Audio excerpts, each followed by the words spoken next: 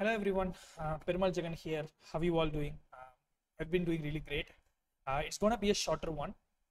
I have brought an interesting stuff to the table in today's video. Uh, yesterday, if you if you had seen my uh, yesterday's stream, I was using uh, a code AI code assistant to write my PowerShell script. I was setting up a domain controller. There I was using the PowerShell uh, script to build the domain controller, and I was using the uh, AI code assistant uh, in my VS Code uh, software. Uh, today, I'm going to explain what was that AI code assistant and how you can grab that. Uh, let me explain that. I'm I'm damn sure that it's gonna help you. It's gonna help you a lot. That AI code assistant is awesome literally awesome. If you are using if you are especially using that uh, github copilot it's a paid software. Uh, if you are using that then you would really feel this is actually a perfect replacement for that uh, github copilot. Uh, actually this one is totally free. You can uh, download it uh, and you can use it uh, in in whatever the systems you you know you want to do you want to build the code you can just install it in your IDE okay? So without further ado let me uh, explain that stuff. Now you are uh, looking at my ubuntu machine and here i have installed the code uh, ide uh, code editor.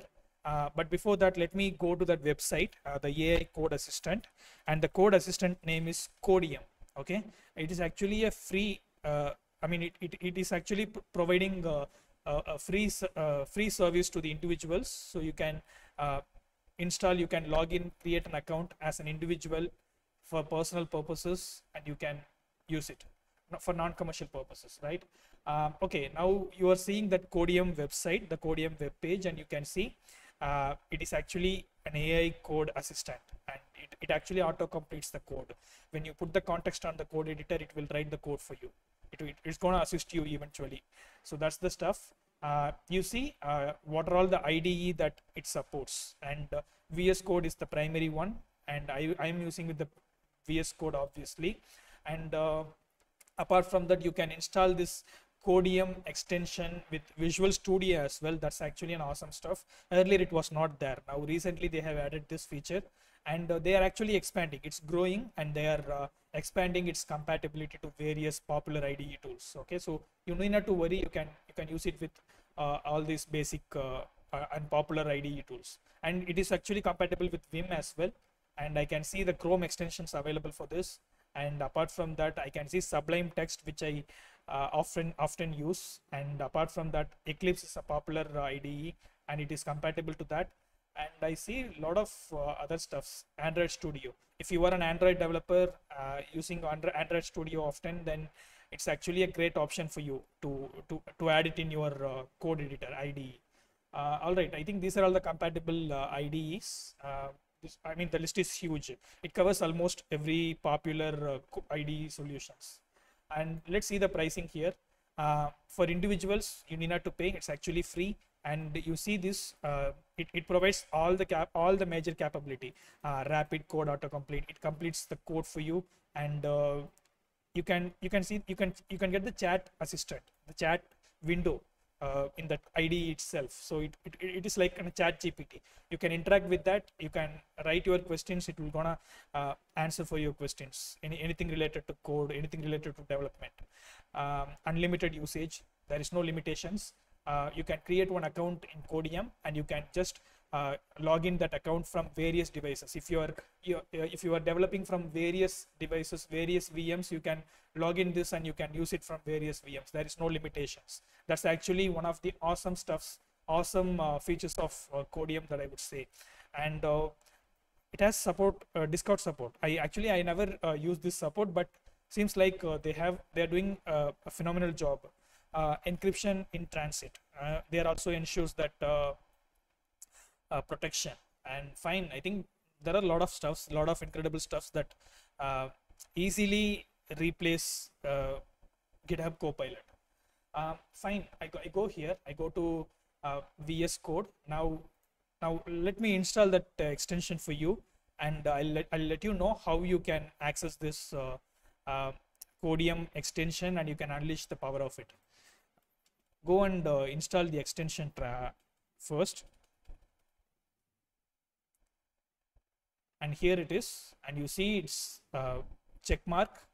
So verify uh, i mean install its verified version. And now it's installed and you see it here.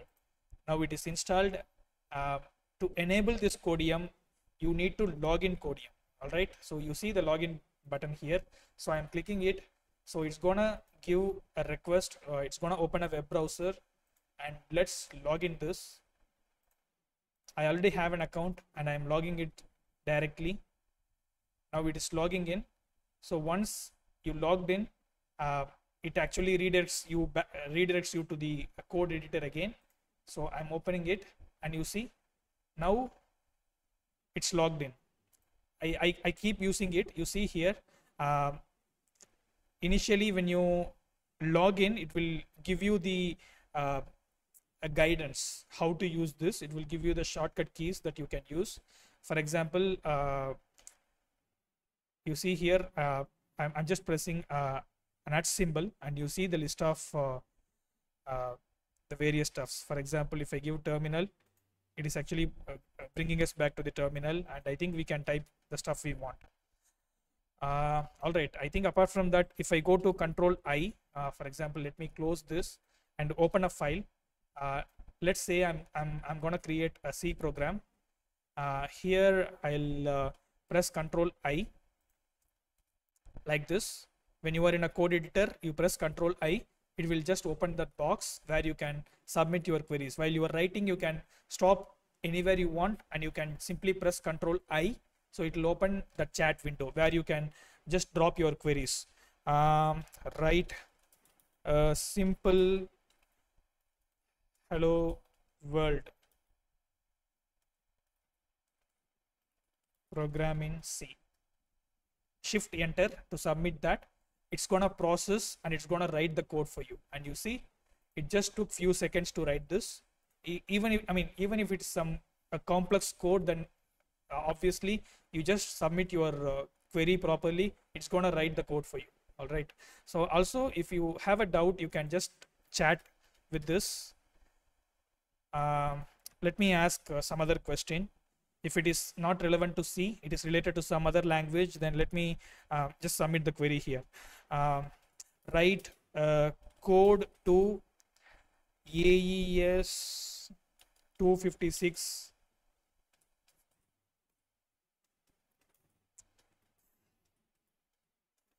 encrypt files recursively. I'm sure I'm not writing the uh, writing the query properly. Uh, write a code to AES encrypt files recursively on Windows. Let's see what it's gonna give and look at this. If, if you click, uh, it is actually sharing you the code. If you simply click insert, it's gonna insert that code for you and you see that. Use the password, blah blah blah. It actually writes you that code.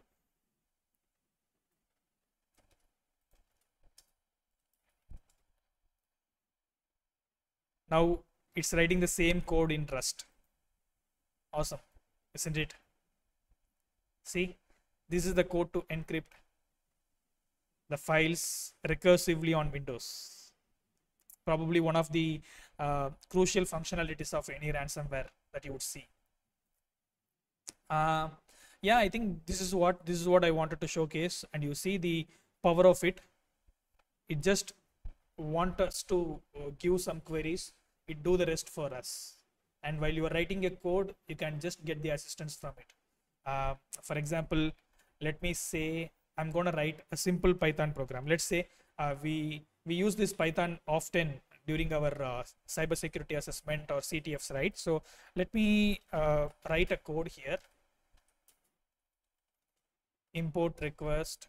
And you see it, it, it is doing some predictions. It actually brings some url and uh, it request and if you have any doubt you can just um, send cookies to the server it's actually doing the things for us.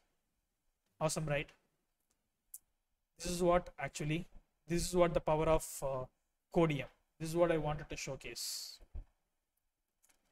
Um, anything else I left?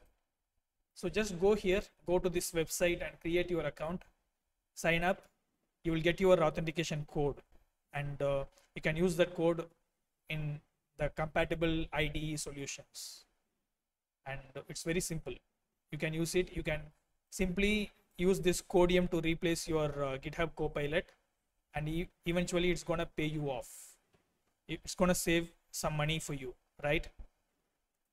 And yeah, I think uh, this is what, as I said, it's a shorter one, shorter video. Um, hope I, I explained this code editor uh, properly. Uh, you can you can try to explore it yourself. Uh, hopefully, you will find it very helpful. If you really found uh, you, you know use it uh, and find it very helpful, and come come to this video and put it in the comment section. Give me the feedback so that I can I can I, I will realize oh, okay some, some I mean so, someone got benefited with my video um, yeah i think that's it. Uh, it's very simple one. Uh, i'll see you next time with another exciting one. I'll i'll create some useful content next time very soon hopefully. Until then uh, i'm signing off. Do the youtube algorithms if you like this. Like comment subscribe and share this video among your friends. I'll catch you next time with another exciting one